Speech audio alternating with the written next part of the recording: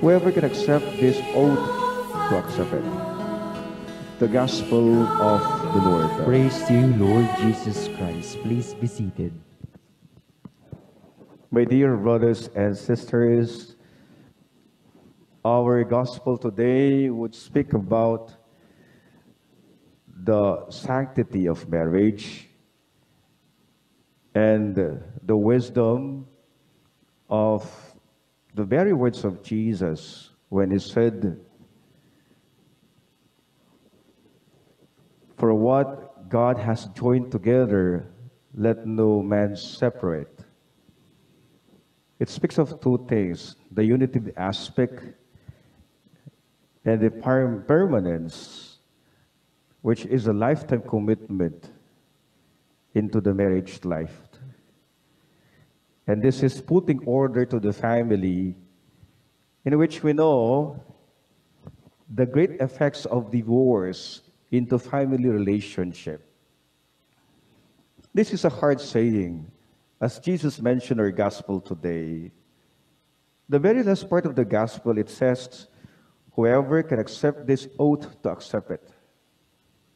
It may be a hard saying or reminder for those who are struggling with their marriage life, where we see in here that our Lord Jesus Christ is reminding husband and wife to remain faithful and as much as possible not to divorce or not to separate. Therefore, what God has joined together, man must not separate. It is a reminder for, our, for all husband and wife to always think of the family and for the sake of the children and the effect that it may bring and cause, especially among children. There are a lot of divorced husbands, wives, or divorced, divorced spouses or couples that we see the great effects of this in their children and the sense of order in the family relationship.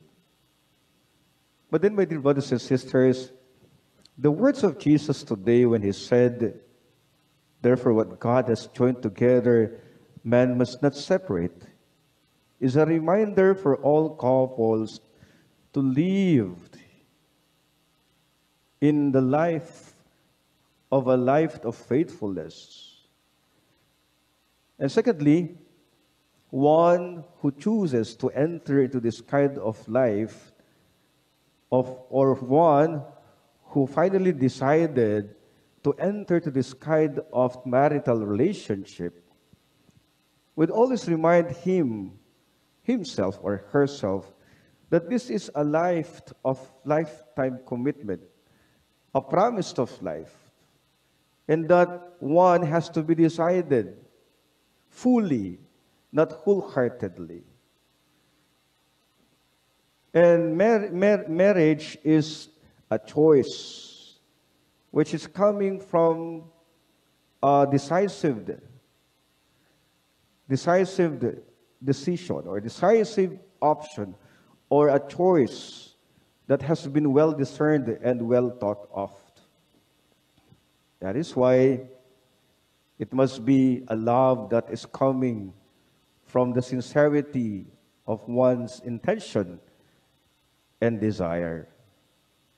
Which is, this is a reminder for all couples that their love must be sincere, their love must be truth, their love must be that of the love described by St. Paul a love that is so true, a love that is willing to forgive, a love that is willing to understand, a love that is willing to take everything, to endure everything, and to embrace everything.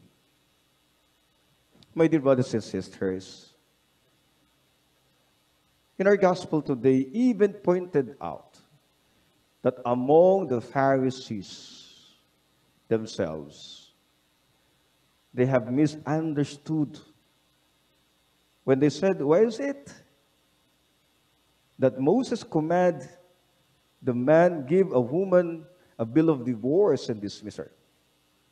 But Jesus, right in there, told the Pharisees, because you have this hardness of heart and stubbornness of spirit.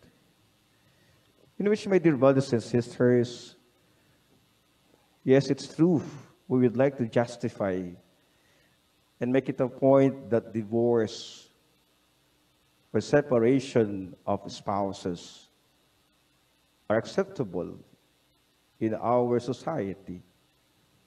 But right in there, we see that the very beginning, our Lord Jesus Christ is reminding all couples, spouses, the very importance of willingness to decide before getting or entering into the marriage life. This is also a reminder, my dear friends, to all couples, to all husband and wife, to always look at the marriage not just a simple or simply a contract which has what we call uh, expiration date. But marriage is a covenant between you and God. When it says a covenant, this is a lifetime commitment. Secondly, marriage is a sacred. The sanctity of marriage, which is shared, nourished by love and self giving and faithfulness. And that is one must be willing to accept everything, embrace everything, and most, especially to love with all sincerity coming from the heart. That is why couples must always learn to be humble, to be patient, and to be what we call, my dear brothers and sisters, enduring, must have this love that is so enduring, willingly to accept, willingly to understand, and willingly to humble oneself.